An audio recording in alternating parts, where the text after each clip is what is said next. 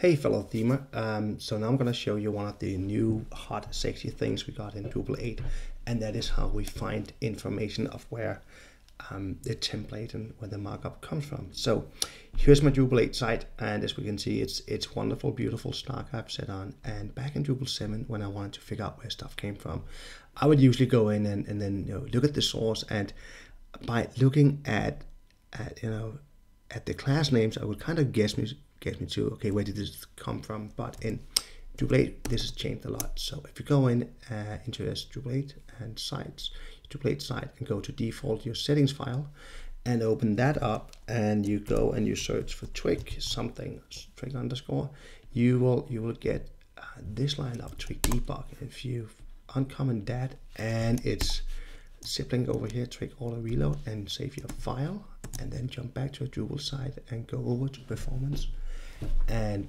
you know clear the cache. Take a look at what it gives us here.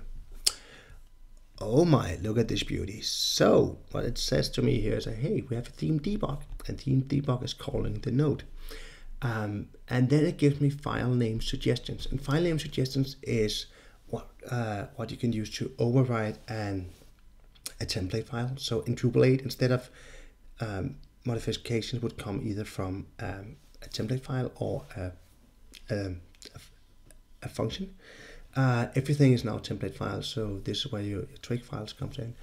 And as you can see here, you can either overwrite this by node html.twig or node article and so forth. So you get a really first a really quick, good uh, look at where you can modify the file. And here is even better. You can see where this file actually comes from. So